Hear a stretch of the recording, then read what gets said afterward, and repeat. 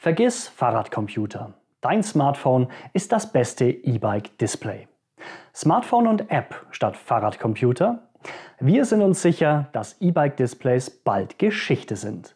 Warum wir davon überzeugt sind und was dein Handy zum optimalen Fahrradcomputer macht, erfährst du hier.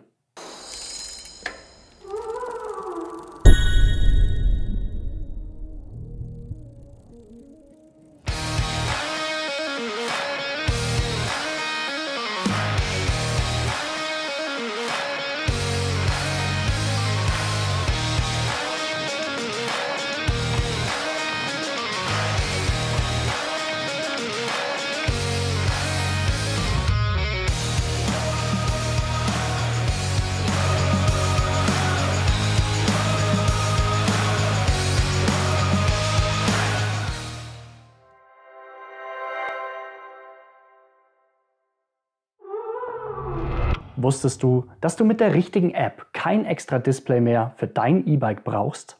Dein Smartphone ist der bessere Fahrradcomputer. In diesem Video verraten wir dir, warum Handy und App eine unschlagbare Kombination für die Steuerung deines E-Bikes ist. PowerUnity ist Experte in Sachen E-Bike Software. Ich bin Matthias von PowerUnity und in dieser Folge tauchen wir gemeinsam in die Thematik E-Bike Apps ein. Wenn dich das interessiert, dann bist du auf dem richtigen Kanal gelandet. Abonniere PowerUnity hier und werde Teil unserer Powerful Community. Bereit? Dann lass uns gleich mit einer zentralen Frage starten.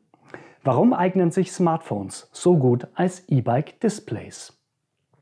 Auf den ersten Blick sind sich ein Fahrradcomputer und ein Smartphone gar nicht so unähnlich. Beide Geräte haben einen Bildschirm, empfangen Daten, verarbeiten sie und zeigen sie dir an. Außerdem kannst du über beide Geräte mit deinem Fahrrad kommunizieren. Einen großen Unterschied gibt es aber. Moderne Smartphones sind viel leistungsstärker als jeder Fahrradcomputer. Ein iPhone beispielsweise ist eine Art Minicomputer für die Hosentasche. Damit kann kein Fahrradcomputer mithalten. Deshalb ist es nur logisch, diesen Minicomputer für dein Fahrrad zu verwenden. Du hast ihn wahrscheinlich sowieso ständig dabei und sparst dir obendrein ein extra Gerät. Voraussetzung dafür ist, dass dein Smartphone mit deinem Fahrrad kommuniziert. Viele moderne E-Bikes verfügen deshalb entweder über eine Bluetooth-Schnittstelle oder die Verbindung wird über einen sogenannten Datenlogger hergestellt. Datenlogger sind moderne GPS-Tracker, die E-Bike-Daten an eine Cloud senden. Von der Cloud aus werden die Daten dann an dein Smartphone gesendet. Ist das mit der Verbindung geregelt, brauchst du nur noch eine oder mehrere passende Apps, mit denen du zum Beispiel Einstellungen an deinem E-Bike verändern oder deine Fahrraddaten wie Geschwindigkeit oder Unterstützungsstufe einsehen kannst. Aber warum macht es überhaupt Sinn, Handys als Fahrradcomputer zu verwenden und nicht einfach ein Display? Ein Grund ist, dass die Displays moderner Smartphones viel größer sind als die Bildschirme von Fahrradcomputern. Außerdem sind sie hochauflösend und sie können in Farbe anzeigen. So kannst du Daten während der Fahrt viel besser lesen, auch wenn du in hohem Tempo oder Offroad unterwegs bist. Dazu kommt, dass du mit guten E-Bike-Apps mehr Einstellungsmöglichkeiten und mehr Funktionen zur Verfügung hast als mit einem klassischen Fahrradcomputer. Sogar Geld sparen kannst du. Zwar ist ein gutes Smartphone teurer als ein Display, aber du hast es wahrscheinlich sowieso schon, auch wenn du es bisher nicht für dein E-Bike brauchst. Und Nachteile von Handys als Fahrradcomputer? Nun, die gibt es, sind aber unserer Meinung nach zu vernachlässigen. Zum Beispiel kannst du nicht einfach aufspringen und losfahren, wenn du dein Handy als Display verwendest. Du musst erst das Gerät am Fahrrad befestigen. Mit modernen Halterungen geht das allerdings so schnell, dass du kaum einen Unterschied spüren dürftest. Auch die Angst davor, dass das Handy kaputt geht, ist eigentlich kein Argument. Denn mal ehrlich, ob du dein Smartphone am Lenker oder in der Tasche hast, macht bei einem Sturz keinen großen Unterschied. Für den Fall, dass es regnet, sind die meisten modernen Smartphones sowieso wasserdicht. Und wenn du auf Nummer sicher gehen willst, dann kaufst du dir eine Halterung mit Regenhülle. Übrigens, bei der Suche nach einer Fahrradhalterung können wir dir auch helfen. Lies dazu ganz einfach unseren Beitrag Fahrrad-Handyhalterung, E-Bike, Straße und Smartphone im Blick durch. Dann weißt du, auf was du beim Kauf achten musst. Den Link dazu findest du hier unten in der Videobeschreibung. Aber musst du dich überhaupt zwischen Fahrradcomputer und Smartphone entscheiden? Nicht bei jedem E-Bike. Innovative E-Bike-Hersteller statten ihre E-Bikes mit sogenannten Mini-Displays aus. Das besteht nur aus einem Schalter zum Einschalten, einem Plus-Minus-Schalter für die Wahl zwischen den Unterstützungsstufen und einer kleinen LED-Anzeige, die die Unterstützungsstufe und den Ladestand des Akkus bei deinem E-Bike anzeigt. Der Vorteil eines solchen Mini-Displays besteht ganz einfach darin, dass du die Wahl hast, was du wann verwendest. Wenn du zum Beispiel eine kurze Fahrt unternimmst oder dein Smartphone vergessen hast, hast du immer noch das kleine Display. Auf längeren Touren hingegen kannst du das Smartphone verwenden. Vielleicht fragst du dich jetzt, warum die meisten E-Bikes immer noch ein eigenes Display haben, obwohl ein Smartphone viel besser geeignet ist. Nun, ein Grund dafür ist, dass man in der Fahrradbranche gerne an bewährten Dingen festhält. Außerdem sind viele E-Bike-Apps vielleicht kennst du das aus eigener Erfahrung, noch nicht ganz ausgereift. Die meisten stammen von E-Bike-Herstellern oder Motorenherstellern. Sie sind nicht unbedingt die besten Softwareentwickler.